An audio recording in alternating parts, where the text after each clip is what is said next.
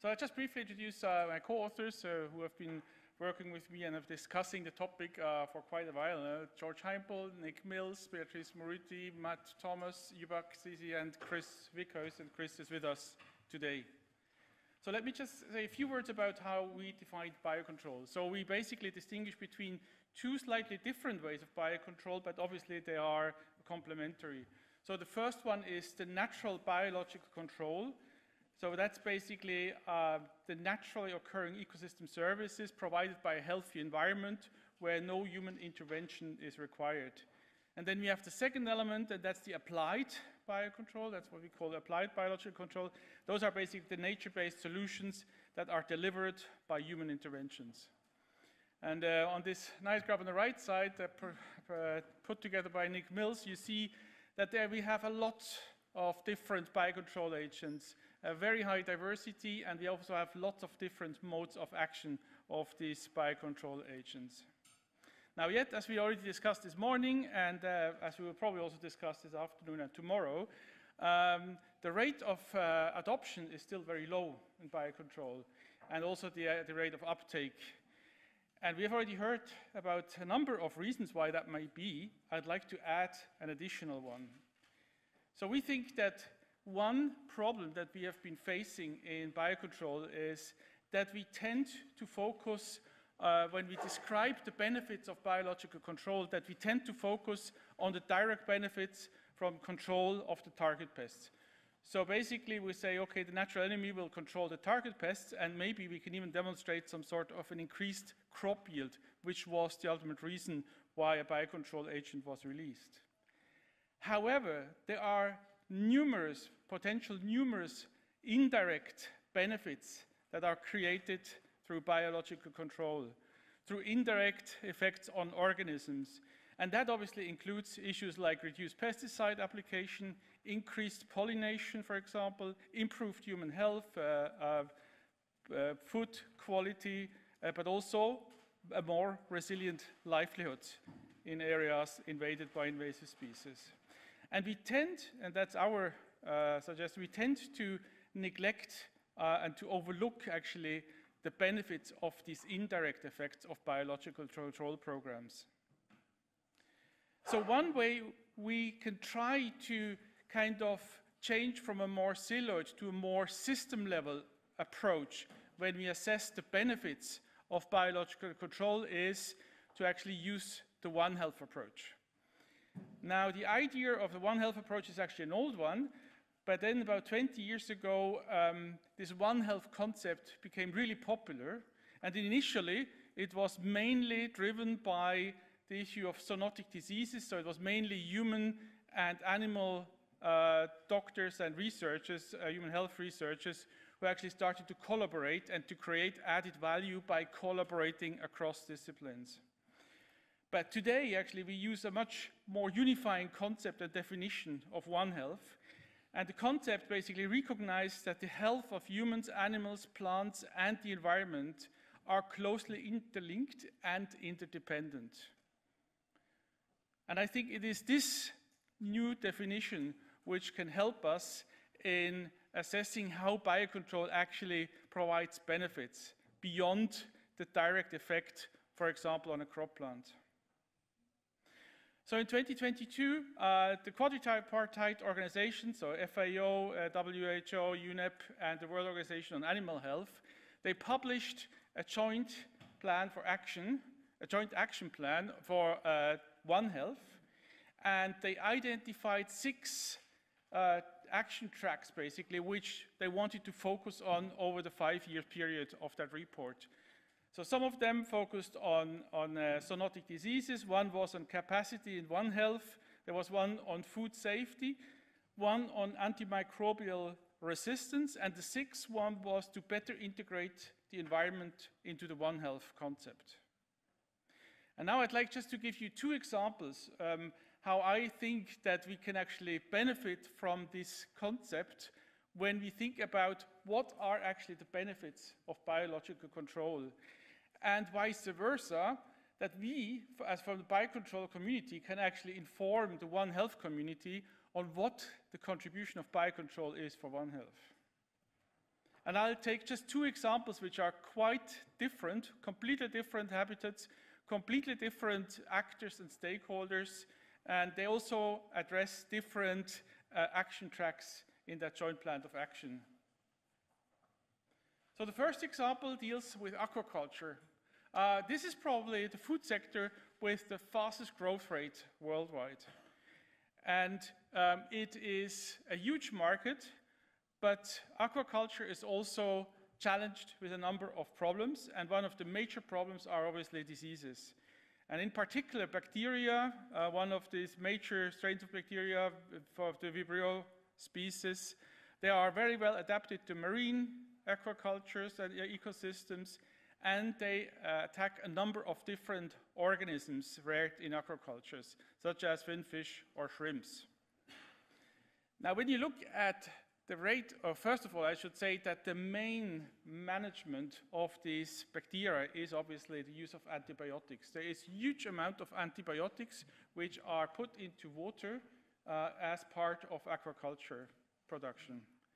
And when you look at the key challenge, uh, the bacterial disease threat, this uh, multi uh, antimicrobial resistance index is for many of the organisms in aquaculture is higher than 0.2, which means that these organisms which are reared in aquaculture are already resistant to about 20% of the antibiotics used in aquaculture. Now, there is actually a solution from biocontrol, and the use of phages or of bacteriophages has been tested, has partly been commercialized, and is being used in aquaculture, but only at very low rates. There are multiple benefits. Obviously, the direct benefit of uh, bacteriophages is that it can reduce the parasitism of these bacteria, and it can significantly reduce the infection rates in aquaculture. And then it has obviously indirect benefits. So it actually reduces also the incidence of antimicrobial resistance and what they also showed the spread of resistant genes. And ultimately, they also reduce the risk of infection uh, of humans. So there are multiple benefits, the direct benefit on the animals which are reared in aquaculture, but there are also indirect benefits um, that provided by this biocontrol solution. But yet, uh, this biocontrol solution is rarely implemented. The other example takes us to uh, semi-arid and arid regions uh, of the world, in this case East Africa. So we're talking here about invasive tree species, and this is now related to the action track number six uh, of the Joint Plan of Action, integrating the environment into One Health. And these invasive trees are particularly a concern with regard to the main livelihoods in these areas, pastoralism, because they invade large areas of rangelands, uh, suppress the forage for livestock, and also directly injure livestock. So when actually the community in Kenya uh, sued the government, they brought an injured animal to the court, and they actually won the case. But prosopis is still there. They are biocontrol solutions, at least in one area in Western Australia, which actually has very similar climatic conditions as Rift Valley in, in Eastern Africa. Uh, this biocontrol agent, which is a leaf-tying moth, has reduced seed production of this invasive tree species to almost zero. So it basically stopped the spread of this tree. It doesn't kill necessarily the established ones, the trees, but it stops the spread. So the main benefit of introducing such a biocontrol agent is that you can actually stop the invasion process. But there are a number of indirect benefits of managing prosopis by biocontrol and other management options. And I think that's something we need, again, emphasize uh, uh, for, to make clear what the overall benefit is of biocontrol. So first of all, uh, these tree species are actually multiplying vectors of human diseases. So what we see is that in areas where these trees have established that both mosquitoes which transmit malaria, sandflies which transmit leishmaniosis, have outbreak densities, create outbreak densities. Um, has been also experimentally tested in the case of, of mosquitoes, uh, malaria transmitting mosquitoes in Mali, where they could show that both the fitness of the adult of, of the, the mosquitoes, but also the number uh, dropped by a factor of five when you removed the flowering shrub uh, uh, branches of prosopis from a village.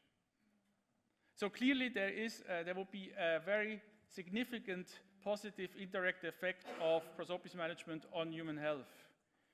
And the additional indirect positive effect is obviously water conservation or preservation.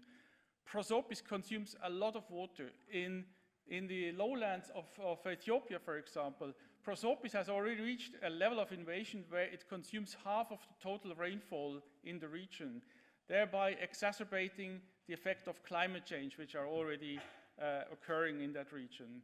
And it has been shown that management of prosopis again increases soil water level and, and thereby uh, preserves water in the ecosystem.